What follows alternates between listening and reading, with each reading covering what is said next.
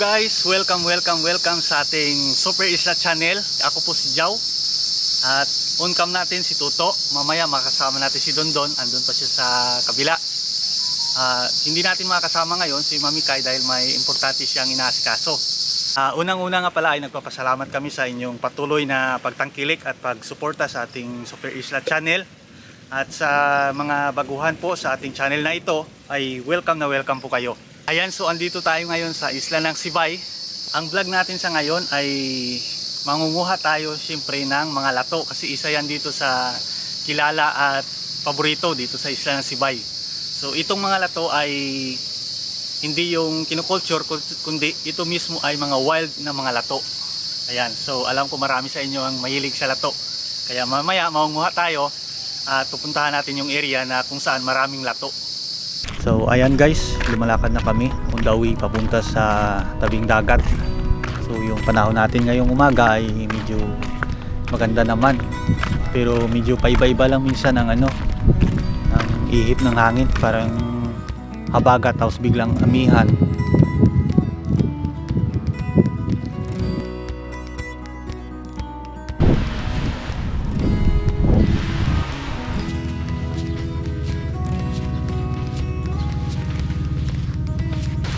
Guys, andito na tayo sa napakagandang beach ng Sibay. Yan kung makikita nyo yung buhangin, hindi yung tipong puti, hindi yung puting puti, kundi yung kulay niya ay parang golden brown. Ayan.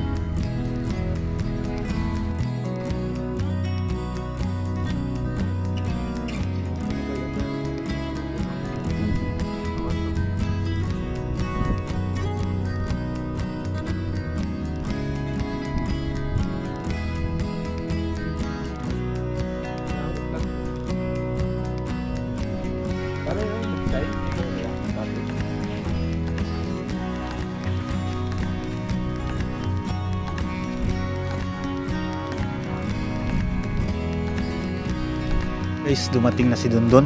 Thanks God. Na tayo guys.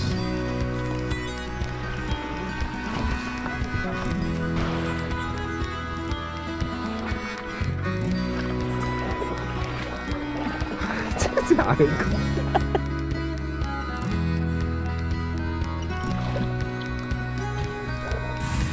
First time ni Tuto dito guys sa isla ng Sibay. Actually, pauwi na kami sa kabilang isla. Kaya hindi namin alam kung gaano kami natagal doon sa area ng mga lato. Kasi nga, paiba-iba yung hangin. Biglang kakalma tapos lalakas na naman.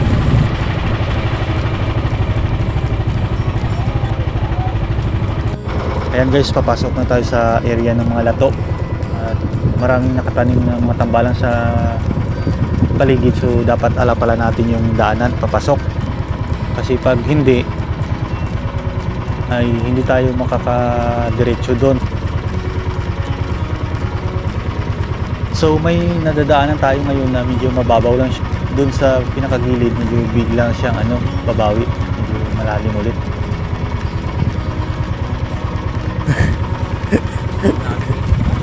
May nadaanan kami malaking pawikan kanina guys. Kaya lang hindi na-capture ng camera natin.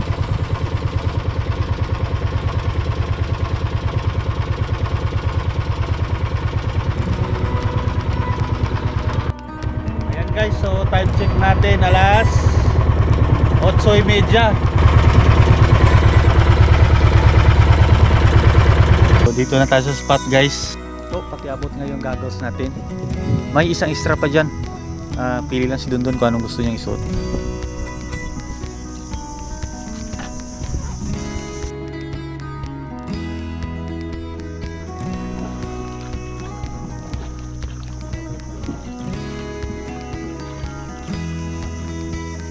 Ayan, bago pa lumabo guys yung tubig, uh, itor ko muna kayo sa ilalim para makita nyo yung dami ng mga lato dito. Kasi pag nagsimula na tayong manguha, lumalabo na yung dagat. Ang lalim ng dagat guys ay uh, siyang dipa.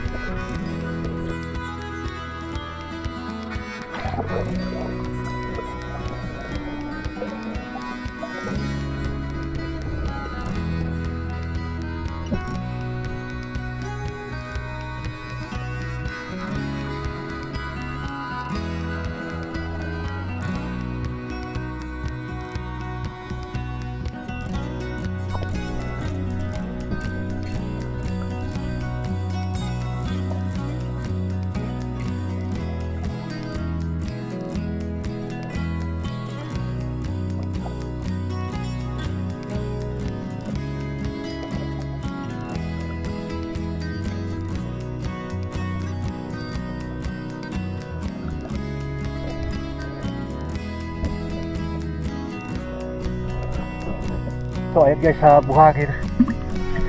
Bali yung tinatas floor niya ay puro lato. Maliban sa mga mga halaman na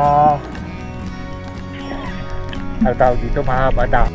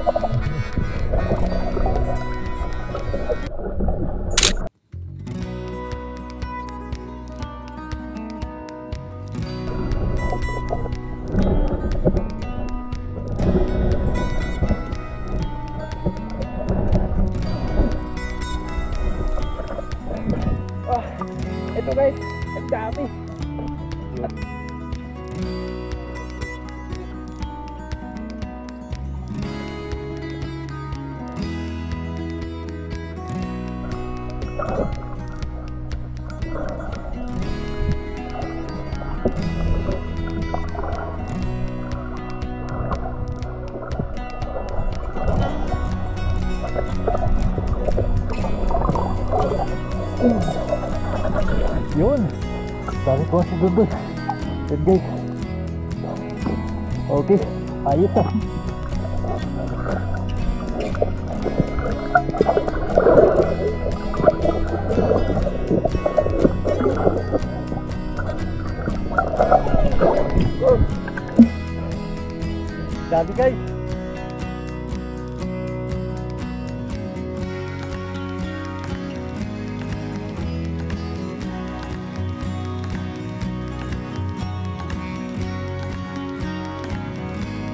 Ayan guys, saktong dami lang yung kinuha natin.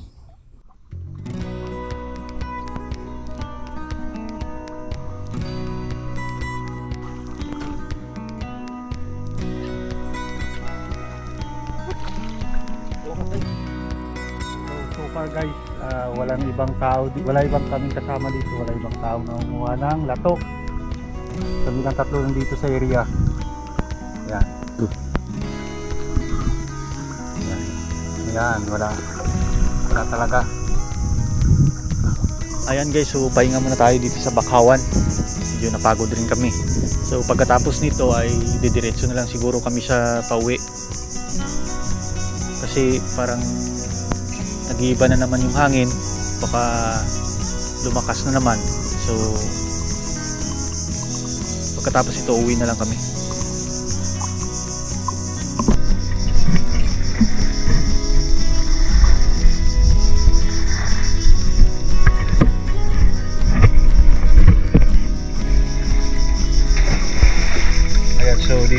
Magpapahinga muna tayo saglit.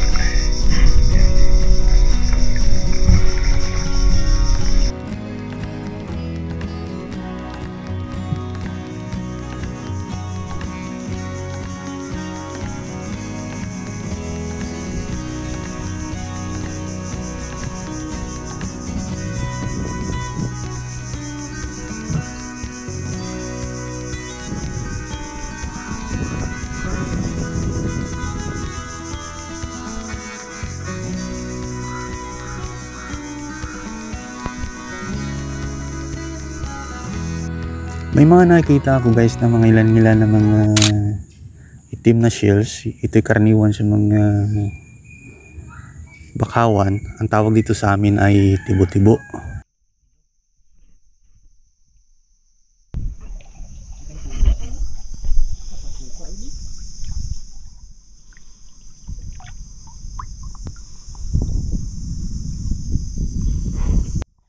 Hanap tayo.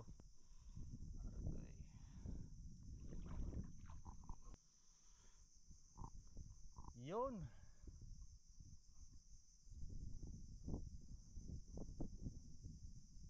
Ayan, binalikan ko dito guys. Hindi ko alam ang pangalan nito. Ah, sa mga nakakaalam pa ID naman. Para siyang clam. Na, para siyang clam na nakadikit sa puno sa ugat ng bakawan. Ayun si Tuto, ah, pinupuntahan niya yung sa looban doon ng Bakawan. Si Dondo naman doon sa bangka. Nililinis niya.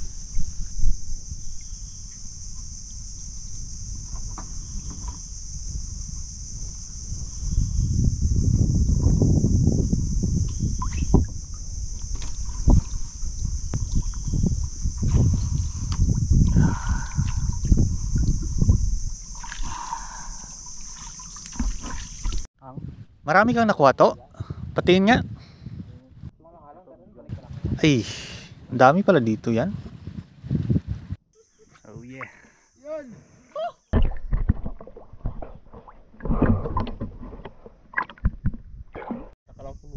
So ayan guys, pabalik na kami, pauwi na kami.